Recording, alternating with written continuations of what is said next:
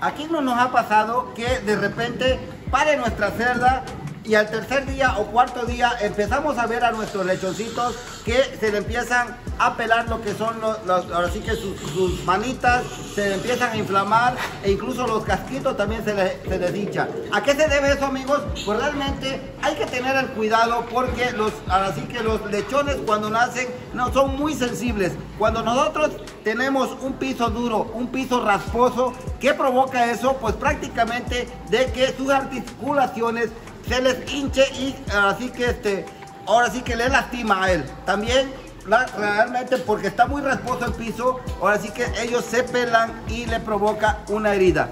Eso les incomoda, eso causa dolor, eso atrasa en su desarrollo de un lechón.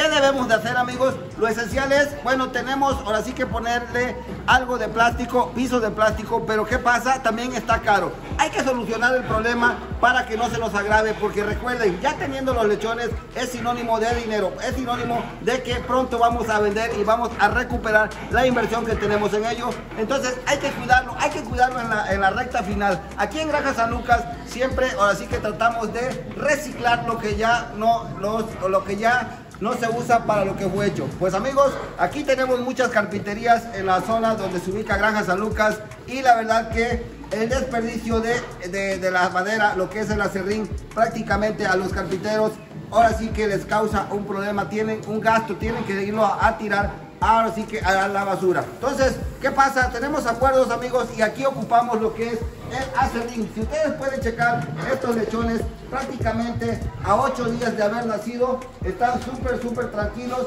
Ahora sí que no tienen problema de raspaduras, no tienen problema en sus plantillas, en sus pezuñas. Están súper, súper bien. Amigos, recuerden, hay que buscar alternativas. Si no tenemos para comprar lo que son pisos de, este, de plástico, bueno, caramba, a lo mejor en tu zona, cascarilla de arroz pudiese ser otra opción, ¿sale? Algunos por ahí le ponen lo que es arena, arena finita, de río, también puede servir, ¿sale? Aquí la cuestión es que nuestros lechones estén muy bien, que estén sanos, que crezcan vigorosos y que no tengamos problemas problemas que nosotros podamos, podamos solucionar. Si pueden checar aquí, ahora sí que de esta manera nosotros evitamos esa parte. Muchas veces dicen, ¿para qué poner ese serrín? Evitamos humedad evitamos que nuestros lechones, ahora sí que sus manitas, sus casquitos, ahora sí que se lastimen y provoque, ahora sí que dolor en ellos y un atraso en su desarrollo. Como bien, ahora sí que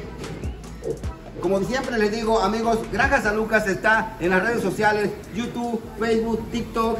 Búsquenos como Granja San Lucas y en Instagram aparecemos como San Lucas Granja. Amigos, como siempre, les digo, el venado les ahora sí que comparte con ustedes todas y cada una de las vivencias que tenemos aquí en el área de cerdos de Granja San Lucas. La decisión si lo haces o no en tu granja es tuya. Amigo, nos vemos en el próximo video.